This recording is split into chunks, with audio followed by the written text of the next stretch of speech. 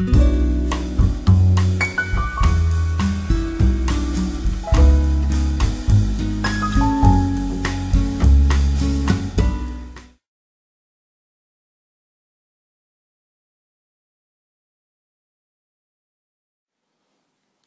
there everybody. It's pretty close between the videos right now, but uh, I listened to a documentary uh, slash interview uh, made by Swedish Radio a couple of years ago with uh, Chaka Khan, uh, and uh, that documentary was so great and so interesting that I got inspired of doing another collection series where I'm showing my collection of a certain artist.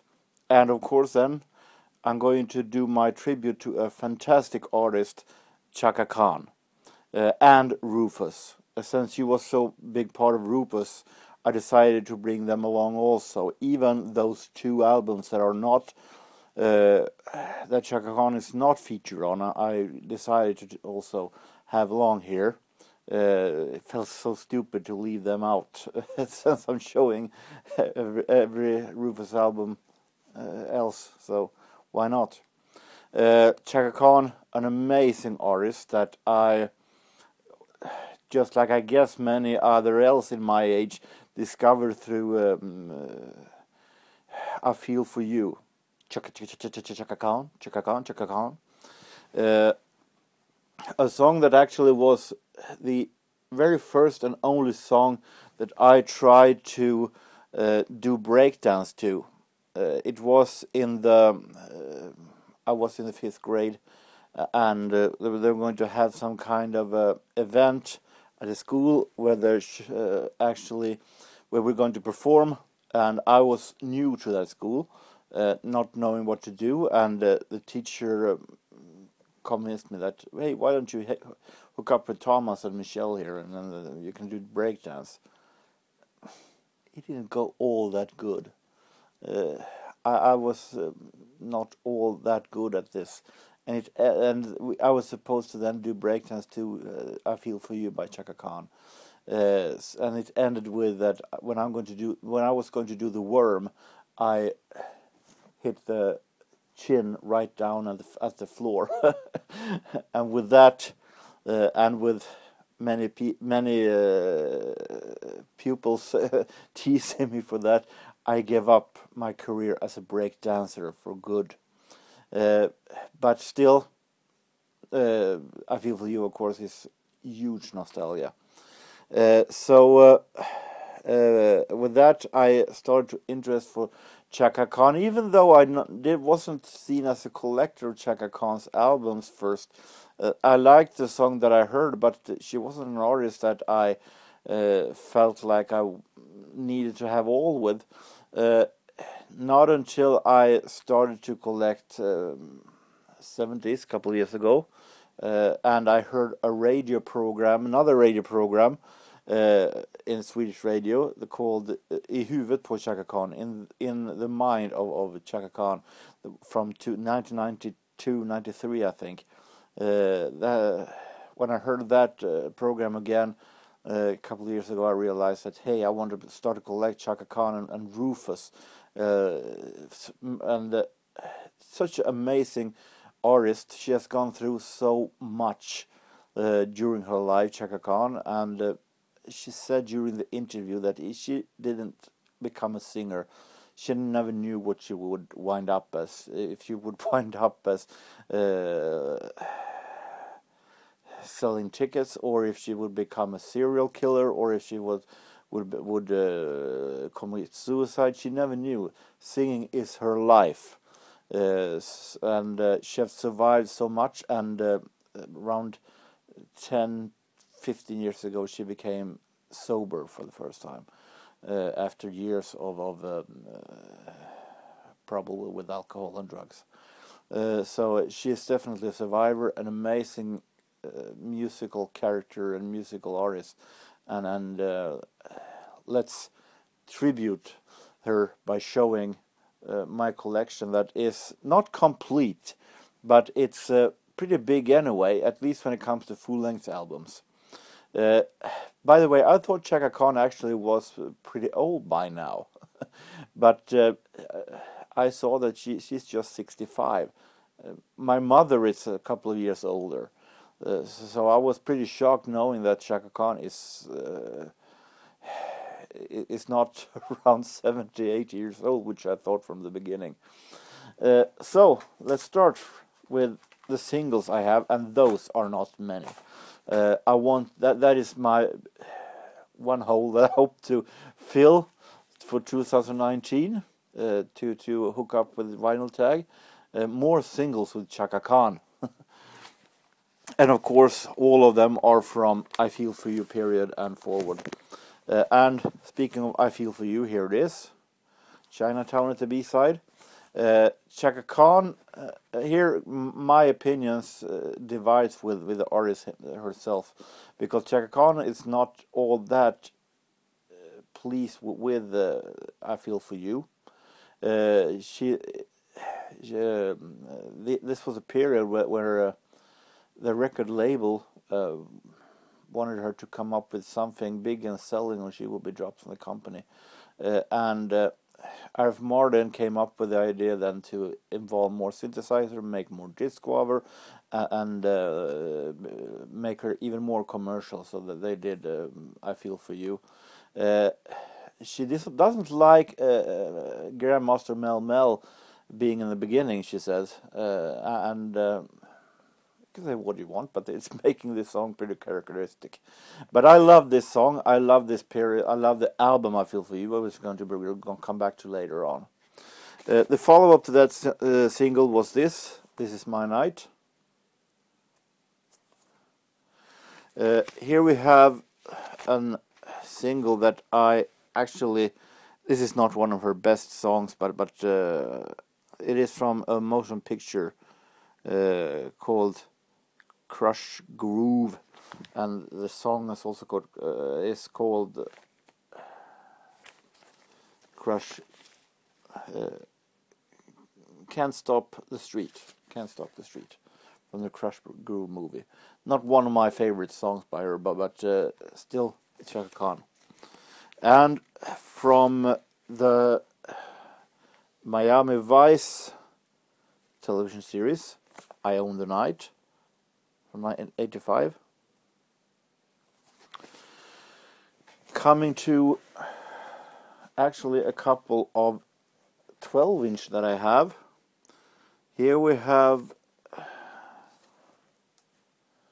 uh, Love You All My Lifetime. and we have not the perfect sleeve but still Earth to Mickey uh, and Earth to Mickey from 1987 from 1988 and the CK album It's My Party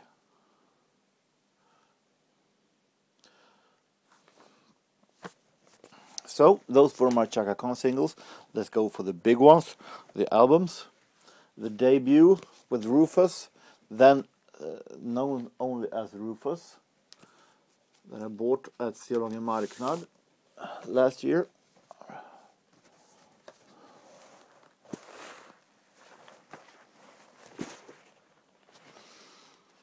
Pretty great album this one. Uh, I'm not going to say that it is uh, the absolute best Rufus album, but but still it's a really really great album. Uh, missing Rags to Rufus from 74, Missing Rufusized also from 74. Then we go to 1975 and the, then the band has been known to as Rufus featuring Chaka Khan. Uh, a name change made by the label, uh, and which she uh, Chaka Khan said she she didn't like that one bit because she wanted to be a part of a band, and by setting her as featuring, she felt like she wasn't a part of the band actually, uh, and uh, so she never liked this featuring Chaka Khan ad, according to the this uh, documentary. Uh, bought this in uh, uh, in Umeå Record Fair. We have Ask Rufus, uh, one of the more no, well known Rufus and Chaka Khan albums. Uh, this one you have seen.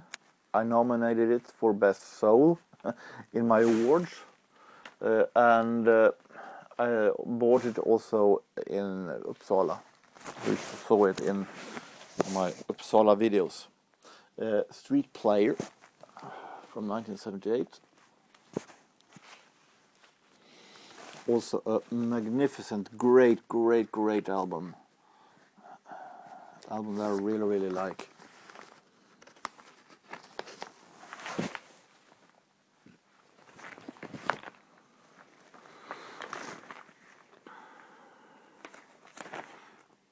I'm going to say that my Chaka Khan collection goes uh, to 1992. Unfortunately, I don't have any newer Chaka Khan. Uh, really want to get a hold of it because I know it's, it's just recorded with both Prince and Jimmy Jam and Terry Lewis and recorded jazz albums. So I really would be fun to find these albums somewhere down the line. uh, here's an, uh, the first album Rufus released uh, without Chaka Khan. Uh, she has released her debut solo album as by then, which I of course don't have. I said in Vinyl Tag that I hope to find it during the year. Uh, numbers from 1979. Uh, something missing here. I'm not going to say that it's a bad album. It's definitely not. It's a good album. It's a really good album, but not, uh, of course, in the same level as uh, with those with Chaka Khan. Uh, she adds something definitely to to um, the band, but it's definitely not as bad as uh, they they uh, wanted to have like um, it was a, not a big uh, success. It wound up only as 81 at the American album chart, but but uh, it's it's not that bad. It's it's, it's pretty good actually. It's really good actually, but would be even better if Chaka Khan was doing the vocal, which she did on the next lab album. This one is maybe my absolute favorite Chaka Khan album with Rufus, uh, because it's produced by Quincy Jones, and Quincy Jones with uh, Rufus, what a combination! And I, I've actually had no idea, but this documentary reveals something that I uh, didn't know actually it was really fun to find out that Rufus is actually playing in the back of Michael Jackson's Off the Wall. Uh, I never knew that. I should have understand that since both are released at the same time and by the same producer. But Master Jam that I bought at the record fair a couple of years ago is such a fantastic and great, great Chaka, uh, Rufus and Chaka Khan album. Really funky, real smooth, uh, and of course with the magnificent production of Quincy Jones.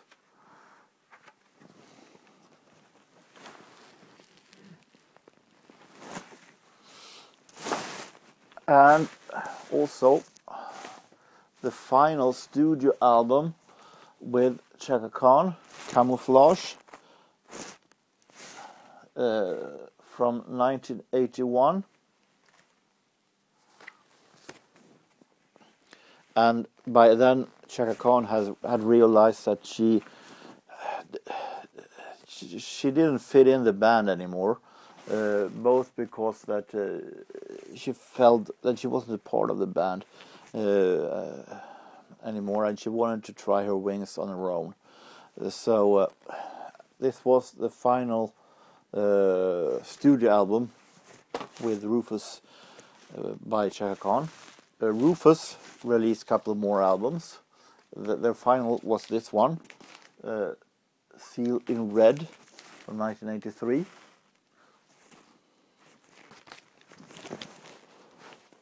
I haven't listened to it, the complete yet, but I listened to quick peeks of it, and it, it doesn't sound all that bad either.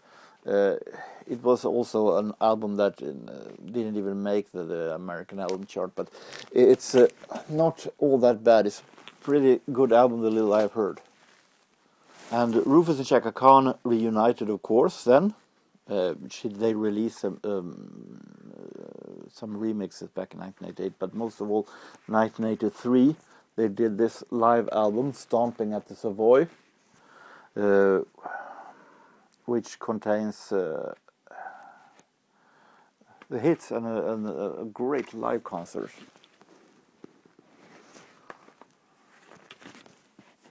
Double album set. But let's go back and uh, to uh, Chaka Khan solo career. Uh, as I said, missing the debut album. Uh, and uh, then came in 1980 Naughty, which is a real great, great album. Here she had started to work with Arif Mardin, uh, which would follow her through the 80s. Uh, Arif Mardin, she in the documentary called her uncle and said that she missed him every day. Uh, and this is, as I said, this is a magnificent, great, great Chaka Khan album.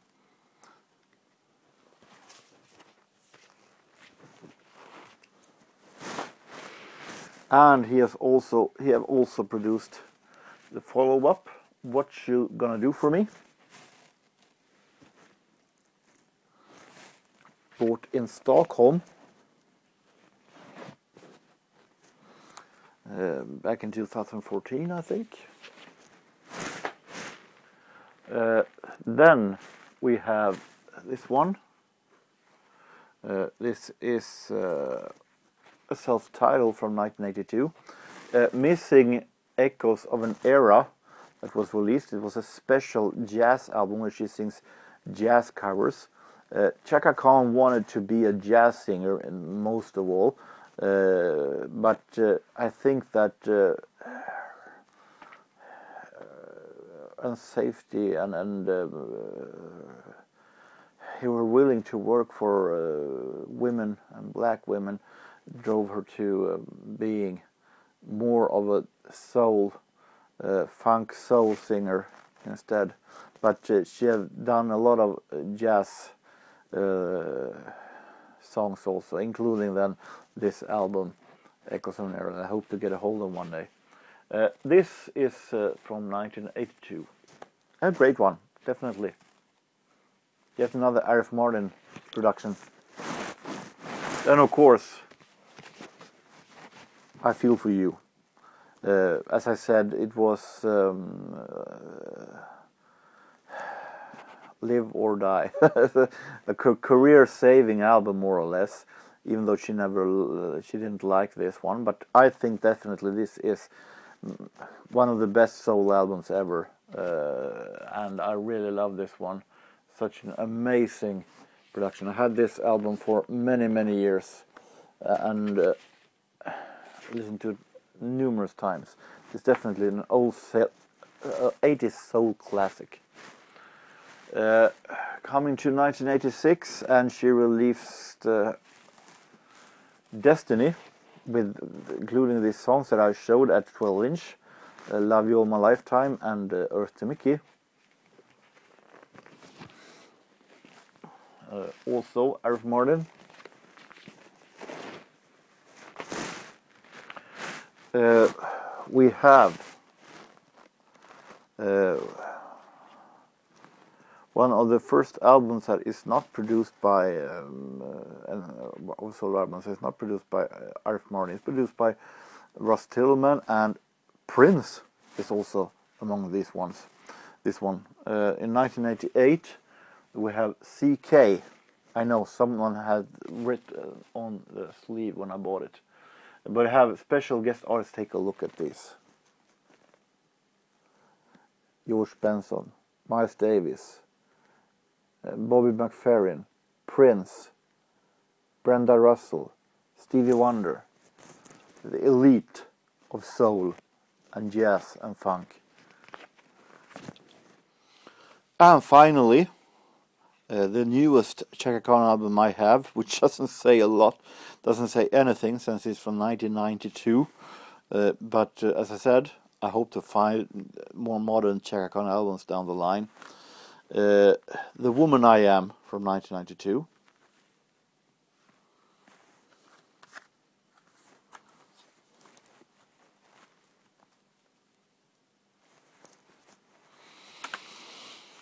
So, that was my Rufus and Chaka Khan collection. Uh, I don't have all that much missing after all. So uh, at least when it comes to Rufus and Chaka Khan and, and uh, during 70s and 80s. So, uh, with the exception from singles, of course, that is uh, missing a lot. I still don't have one single Rufus and Chaka Khan single, 7 inch. So with that, I hope that you enjoyed my walk through my Chaka Khan collection, a tribute to a magnificent artist in my book. So until next time, I hope that each and every one of you have a real nice time. It's soon time for another vinyl CD update. Uh, I don't know when, but hopefully during the weekend. So everybody take care and so long.